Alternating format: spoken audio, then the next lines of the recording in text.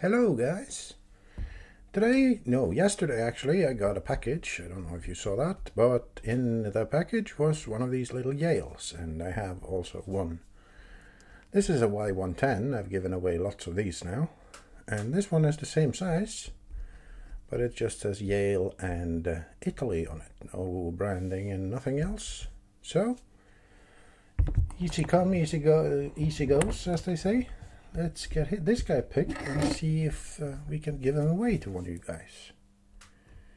And while I do that, you guys uh, that are new here, make click the subscribe button and the notification bell so you get notified whenever I upload these masterpieces. And uh, let's pick this guy and give him away.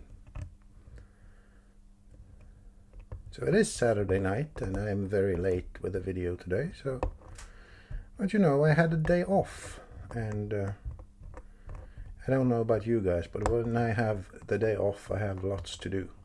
So it's rather stressful for me to have a day off.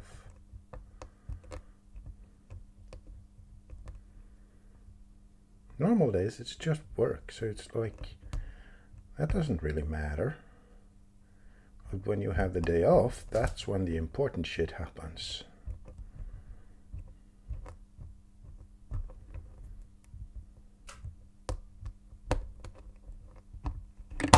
And there we go. Well, he wasn't that difficult. But it's a Yale, it's a great little training lock and uh, a nice pick for a Saturday night.